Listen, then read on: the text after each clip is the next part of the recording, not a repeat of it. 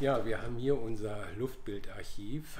Wir haben für den westfälischen Bereich Nordrhein-Westfalens etwa 130.000 Luftbilder.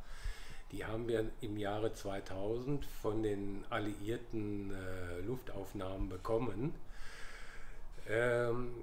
Wir haben Bereiche in Nordrhein-Westfalen, in denen wir nur sehr geringe Luftbilder haben. Für den Bereich der Stadt Dortmund hingegen haben wir bis zu 250, 300 Luftbilder für die stark bombardierten Bereiche, die wir für unsere Luftbildauswertung benutzen.